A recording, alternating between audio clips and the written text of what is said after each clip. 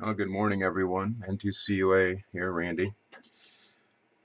Uh, I'm going to do a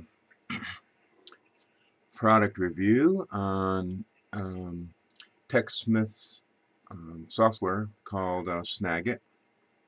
Um, I just received this oh a few days ago.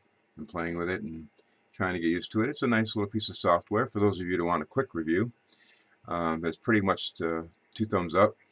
Um, only uh, the actually the only con that I've seen, and it's not a major one, it's kind of a minor one, is in my mind anyway, for someone like me who just does some quick YouTube videos like this, is that it will only um, give you a 720p video versus a 1080p.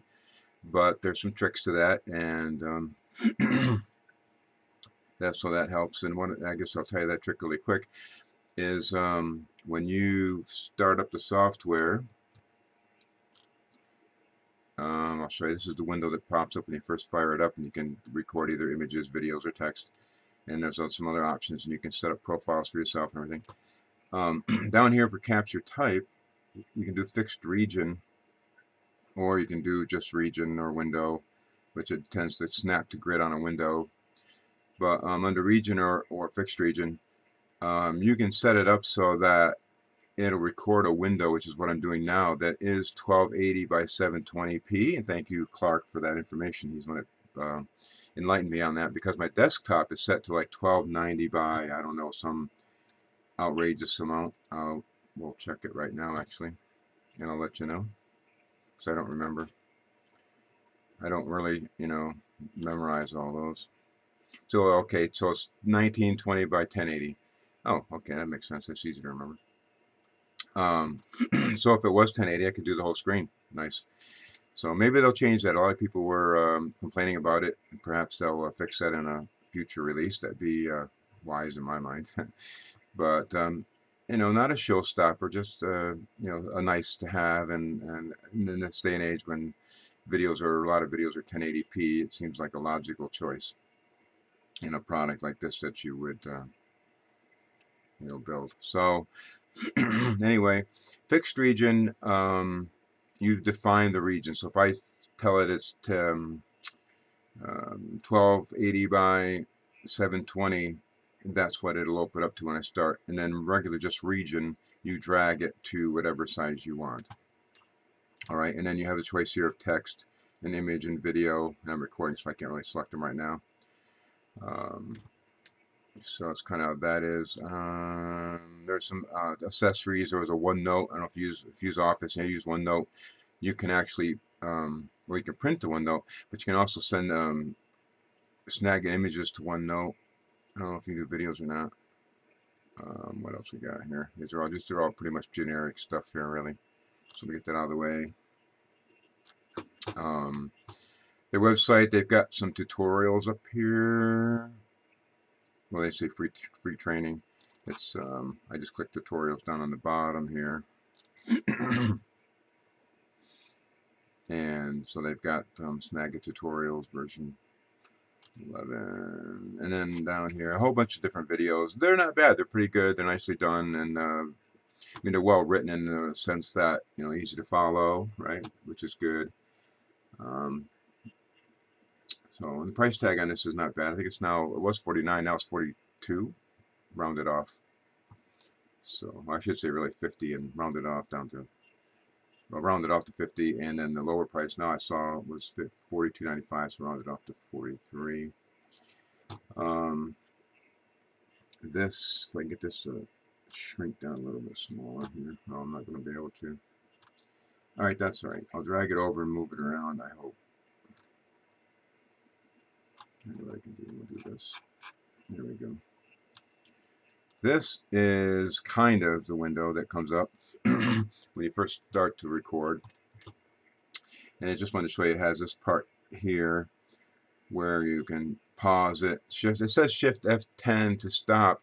It doesn't say what to do to pause. And if you do Shift F9, it'll pause, and then Shift F9 again, and it'll start back up.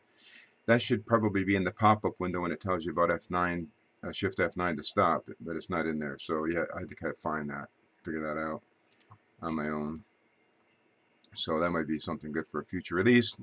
no big deal, but it's there just to let you know. Um, what else? Um, I thought, let me see, file, print. Hope I can move this window. Yes, I can. Oh, it's in there anyway. When you do print and you're in here, you can print to uh, Snagit. So if you print something even in your web browser or whatever, you know, it'll send it to Snagit if you want to, and you could use it as, you know, part of a collage or whatever it is you're you're making or some kind of a presentation. So you're able to do that if you want. Um, also, when you watch this video, you're watching it in 720p, hopefully, um, and that's in the mode that I'm recording it in, as I showed you, that you want to set up the capture area so that it's 1280 by 720, or I guess whatever by 720, I'm not sure about that, but uh, in my case, I'm doing it 1280 by 720, and that um, would prove to be the clearest. Because if you try to do um, the whole screen like mine is 1080p, it's just, uh, you know, it's just a lot harder. Some of my other videos are like that, and you can tell the difference. I, I could tell immediately as soon as I saved one that I'd done in this manner. It was like night and day difference in my mind. so anyway, that's it. They have a Cam Studio software as well. You can take um, a video from Snagit and put it in there and edit it. You can't edit it, uh, video in uh, Snagit. They do have an editor. However, I don't believe it does video. It only does um, images. So, and that's so you can make a, a presentation out of your uh, your images. So, and again, uh, like I say, one nice feature is that you can do print and print to Snagit, so you could um, take whatever you've got and if it's multiple pages and you want to use them all in a presentation or something you could throw everything together in the editor really easy that way by just printing to the editor I've not done it but that seems really nice uh, that idea and my son and daughter uses a daughter-in-law excuse me uses a um, uh, older version of Snagit but they don't even use the video part. They use just the uh, uh, Snagit image editor and make presentations with it and they've done it for a while. I guess they have version 8 and uh, they're very pleased with it and uh, very happy with it so anyway that's about it. That's my review. Um, I guess I said it's fine. I've been enjoying using it. It's very intuitive. I actually started using it without even reading any instructions or help files or even looking at the tutorials. And it seemed pretty intuitive except for the shift F9 had to figure that out. Um, and then again, like I say, I wish it was uh, 1080p and a higher frame rate would be nice, but if uh, I had a choice between the two and it can only have one, I'd take the resolution over the frame rate. Because I mean, you go on YouTube and you see tutorials of people using uh, video software like this. It's, I'm used to the frame rate. I'm used to seeing a little bit of a, a lag or a jumping mouse pointer or whatever. It's, it's not that annoying to me. I mean, if you're a professional and you're doing professional videos, I mean really, you know, intensely professional, then yeah, you know, you want, you know, 30 frames per second and you want 1080p and so on, but you know, for us, they're just doing these quick videos for YouTube. It's, it's fine, I think. Um, as far as the frame rate is concerned, but still like the resolution though. And that's about it. So thanks everyone for watching. Um, again, uh, two thumbs up with the minor issue with the resolution. And other than that, I think it's a nice piece of software. You know, it's um, reasonably priced. It's in the ballpark of a lot of the other stuff, unless you want to go out into open source and, you know, talk about free stuff and all that. But then there's issues with support and so on.